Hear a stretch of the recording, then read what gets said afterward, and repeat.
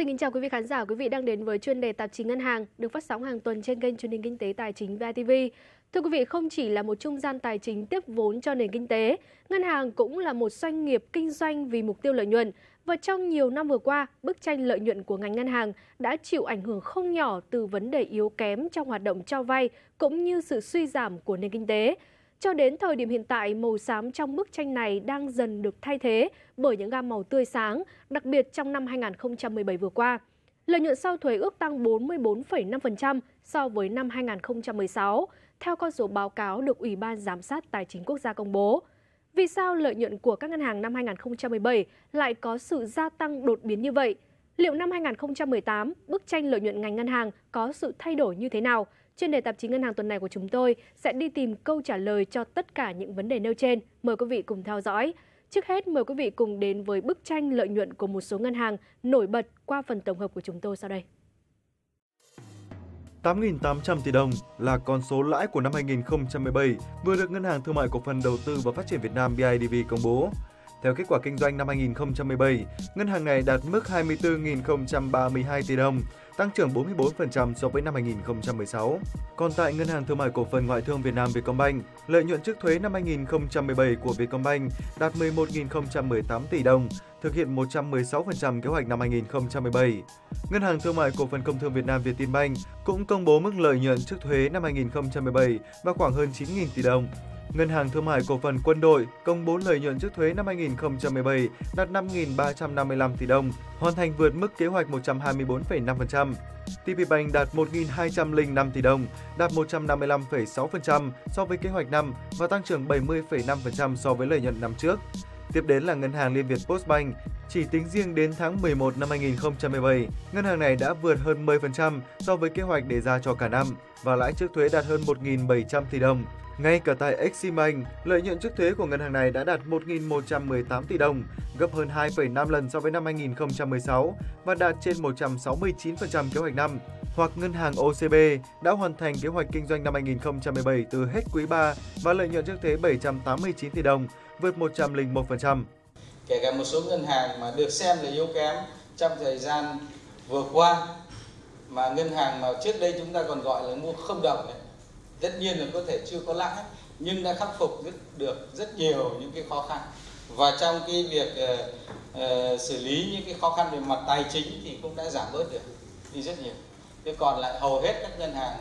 uh, mà trước đây mà năm 2016 15 về trước có những ngân hàng là không có lãi hoặc lãi rất thấp thì năm nay cũng có cái lãi cao. Phù hợp với cái định hướng đầu năm cái kế hoạch đầu năm và cũng phù hợp với cái chung cái, cái tỷ suất lợi nhuận chung của nền kinh tế. Thì đây là một trong những điều rất rất đáng phấn khởi đáng mừng. Không riêng gì BIDV mà kể cả các ngành thương mại cổ phần khác. Thế và chính điều đó là cái điều cơ bản nhất để tạo sự ổn định hệ thống. Và cũng là điều quan trọng mà tổ chức quốc tế người ta đánh giá nhận định của à, ngân hàng là đưa được cái từ cái hệ số đánh giá là là ổn định lên đến đến đến, đến tích cực đấy vừa qua thế giới có đánh giá về hệ thống ngân hàng qua công chí nếu xem cái chương trình Việt Nam những dấu ấn 2017 thì cái điều này rất là rõ theo tính toán của Ủy ban Giám sát Tài chính Quốc gia đưa ra tại buổi hội thảo công bố báo cáo tổng quan thị trường tài chính năm 2017, lợi nhuận trước thuế của hệ thống ngân hàng tăng hơn 40% so với năm 2016, lợi nhuận sau thuế cũng ước tăng 44%. Năm 2017, tỷ lệ NIM bình quân đạt 2,9%, Tỷ lệ ROA, ROE bình quân lần lượt là 0,73% và 11,65%. Năm 2016 là 0,56% và 8,05%. Vâng thưa quý vị, như vậy có thể thấy đến thời điểm này, hầu hết các ngân hàng thương mại đã công bố kết quả kinh doanh năm 2017 với lợi nhuận có sự lột sắc đáng kể. Trong khi khối ngân hàng thương mại nhà nước thi nhau báo lãi vượt kế hoạch, thì khối ngân hàng cổ phần cũng vọt lên không kém. Và theo ước tính, lãi thuần từ hoạt động tín dụng tăng 33,1% so với năm 2016. Và đây cũng chính là động lực quan trọng nhất thúc đẩy sự gia tăng của lợi nhuận của các ngân hàng trong cả năm 2017 vừa qua. Theo báo cáo của lãnh đạo Ngân hàng Nhà nước, kết thúc năm 2017, tăng trưởng tín dụng toàn hệ thống đạt mức 18,17%. Trong khi đó, tổng hợp số liệu báo cáo tài chính năm 2017 của 13 ngân hàng cỡ lớn và trung bình cho thấy, tăng trưởng tín dụng trong năm 2017 của nhóm này đạt 19,7%, cao hơn so với mức trung bình ngành và đạt hơn 3.688.000 tỷ đồng. Một điểm có thể thấy khá rõ trong năm qua là nền kinh tế Việt Nam đang trong giai đoạn phục hồi và phát triển, sức hấp thụ vốn của các khối doanh nghiệp cũng tăng mạnh. Điều này giúp cho dòng vốn tín dụng được tăng trưởng bền vững, đem lại lợi nhuận cho các ngân hàng. Cái điều kiện của nền kinh tế nó đã tốt lên và cái khả năng hấp thụ vốn của các doanh nghiệp cũng tốt lên. Chính vì vậy mà trong thời gian vừa qua chúng ta thấy rằng cái tăng trưởng tín dụng của ngành ngân hàng đã đạt mức cao hơn, đạt mức gần 20% so với cái mức chỉ tầm 15-16% của các năm trước và đấy là cái yếu tố giúp cho cái doanh thu và lợi nhuận của ngân hàng gia tăng. Các hoạt động xuất khẩu cũng tăng trưởng tương đối khá. Rồi các cái doanh nghiệp ấy thì cũng mở rộng thị trường. Như vậy là cái nhu cầu về về, về vốn ấy, nó sẽ cao hơn. Và chính vì vậy các cái ngân hàng thương mại là có cái cơ sở, có cái điều kiện để thúc đẩy ờ, cho các cái doanh nghiệp sản xuất kinh doanh đặc biệt là xuất khẩu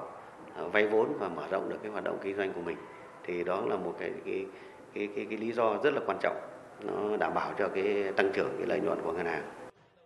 Bên cạnh đó, năm 2017, các hoạt động dịch vụ phi tín dụng được các ngân hàng đẩy mạnh phát triển cũng đem lại một khoản lợi nhuận tốt, thu nhập thuần từ hoạt động dịch vụ tăng 34,7%. Ngoài các khoản tăng phí từ dịch vụ thanh toán, một số tổ chức tín dụng ký kết hợp đồng hợp tác độc quyền toàn diện đối với những công ty bảo hiểm lớn, kỳ hạn lên tới 10-15 năm, dự kiến đem lại nguồn thu dịch vụ và hoạt động lớn trong thời gian tới. Theo đề án 1058 của Thủ tướng Chính phủ, thì hệ thống ngân hàng cần phải gia tăng cái dịch vụ, đặc biệt là các hoạt động à, phi tín dụng để tăng cái nguồn thu từ cái mảng hoạt động này ở mức độ nhanh hơn, mạnh hơn. Thì các ngân hàng đang à, tích cực triển khai theo hướng đó. Kết quả cuộc điều tra xu hướng kinh doanh mới nhất do Ngân hàng Nhà nước Việt Nam, vụ dự báo thống kê tiến hành vào tháng 12 năm 2017 cho biết, dự kiến trong năm 2018, 92,6% tổ chức tín dụng kỳ vọng lợi nhuận trước thuế tăng trưởng toàn hệ thống, bình quân kỳ vọng đạt 19,33%. Bên cạnh câu chuyện về tín dụng, nợ xấu, một trong những điểm nghẽn kéo lùi thị trường trong nhiều năm vừa qua, đã có nhiều chuyển biến tích cực trong năm 2017. Nhiều đại diện ngân hàng cho biết các ngân hàng đã có một thời gian tích cực xử lý nợ xấu và bước đầu có hiệu quả. Đây cũng chính là cơ sở để các ngân hàng có bức tranh lợi nhuận tăng mạnh trong năm 2017 vừa qua. Vậy xử lý nợ xấu đã có điểm gì tích cực và điều này hỗ trợ như thế nào đối với ngành ngân hàng? Phóng sự sau của chúng tôi sẽ phản ánh vấn đề này. Mời quý vị cùng theo dõi. Theo Ủy ban Giám sát Tài chính Quốc gia, kể từ khi Nghị quyết 42 về thí điểm xử lý nợ xấu của các tổ chức tín dụng chính thức có hiệu lực, từ ngày 15 tháng 8 năm 2017 tính đến cuối năm 2017, hệ thống ngân hàng đã tự xử lý khoảng 70.000 tỷ đồng nợ xấu, tăng 40% so với năm 2016. Có thể nói cái ý tưởng về Nghị quyết 42 thì không mới. Thế nhưng mà việc Quốc hội thông qua cái Nghị quyết 42 này thực sự là một cái, cái chất xúc tác khá là mạnh mẽ cho việc xử lý nhanh quyết liệt à, cái nợ xấu hơn. À, thế thì à, thời gian vừa qua chỉ trong một cái thời gian ngắn à, mặc dù chúng ta còn phải chờ thời gian nhưng mà rõ ràng nó đã đem lại cái kết quả tích cực bước đầu. Cái tỷ lệ nợ xấu à, đã giảm à, mặc dù còn lớn nhưng mà cũng là một bước có ý nghĩa à, trên 10% bây giờ khoảng à, tám 8 9% nó cái tổng nợ xấu ấy. Thế và kết thúc 2017 thì có thể nói là một năm thành công của ngành ngân hàng trong xử lý nợ xấu. Đặc biệt là các cái nợ xấu các tổ chức tín dụng bán cho VMC uh, ờ, năm 2017 thì cái uh, cái cái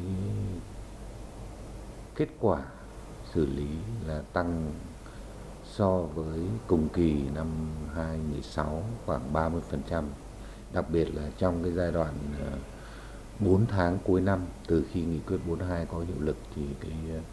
cái kết quả xử lý có thể gấp rưỡi trong cái, so với cái thời điểm ngay từ đầu năm 2017. Mới đây, ngân hàng ACB đã trích lập đầy đủ lượng trái phiếu đặc biệt do VAMC phát hành. Một số ngân hàng khác như Vietcombank, Techcombank và MB Bank cũng xóa nợ thành công tại VAMC và do đó không phải trích lập dự phòng 20% mỗi năm cho số trái phiếu đặc biệt. Còn với các ngân hàng top dưới như Eximbank hay Sacombank, vốn tụt lùi thị phần và lợi nhuận những năm qua do nợ xấu tăng mạnh, nay việc xử lý nợ xấu đã trở thành nguồn thu đáng kể, đem lại kết quả tốt cho kinh doanh. Những kết quả này chính là minh chứng cho thấy việc xử lý nợ xấu tích cực đã góp phần tạo nên sự khởi sắc trong bức tranh lợi nhuận của các ngân hàng trong năm 2017. Ờ, trong một vài năm trước đây thì các ngân hàng đã trích lập tương đối là mạnh cho các cái ờ, hoạt động liên quan đến ờ, đến đến nợ xấu. À, dẫn đến là năm 2017 này một số các cái ngân hàng thậm chí lại còn được hoan nhập các cái khoản mà mà dự phòng đó cho các cái tài sản do các cái tài sản đảm bảo của chúng ta đã thu hồi được ở một mức độ nào đó. Tuy nhiên, nhìn về dài hạn, việc gia tăng lợi nhuận không chỉ là kết quả của câu chuyện xử lý nợ xấu, mà đây là thành công bước đầu của một quá trình tái cơ cấu dài hơi của hệ thống các tổ chức tín dụng. Là quá trình tái cơ cấu của hệ thống ngân hàng thương mại đã diễn ra trong một thời gian khá lâu và đến thời điểm hiện tại là giống như là chúng ta đang gặt hái thành quả của một quá trình đó. Con số về dư nợ trích lập dự phòng rủi ro tín dụng thì ờ, năm nay thực ra là cũng sấp xỉ bằng như năm ngoái thậm chí còn cao hơn bởi vì uh, nhiều ngân hàng thương mại quyết tâm xử lý nợ xấu để sang 2018 uh, ờ, giảm bớt cái gánh nặng về nợ xấu này đi thì họ trích lập rất cao trong 2017. Trong một báo cáo ra ngày 5 tháng 2, Moody's nhận xét một số ngân hàng Việt Nam đã có tiến bộ đáng kể trong việc xử lý nợ xấu và cho rằng đây là một điểm tích cực đối với tín nhiệm của ngành ngân hàng bởi quá trình này giúp cải thiện chất lượng tài sản và tháo gỡ rào cản đối với lợi nhuận của ngân hàng. Vậy liệu bức tranh sáng màu này còn được duy trì tốt trong năm 2018 hay không? Câu trả lời sẽ được đề cập trong ghi nhận ngay sau đây của chúng tôi. Theo đánh giá của giới chuyên gia, lợi nhuận khởi sắc trong năm 2017 sẽ là một bước đệm quan trọng để các ngân hàng tiếp tục tăng trưởng lợi nhuận trong năm mới 2018, đặc biệt khi cục máu đông nợ xấu được kỳ vọng sẽ nhanh chóng được đánh tan bởi những quy định từ Nghị quyết 42 về thí điểm xử lý nợ xấu có hiệu lực từ ngày 15 tháng 8 năm 2017. Có thể nói rằng là năm 2018, nhiều ngân hàng thương mại gần như đã uh, giải quyết xong cái việc uh, xử lý nợ xấu và gần như họ sẽ không phải trích lập những cái khoản nợ xấu cũ.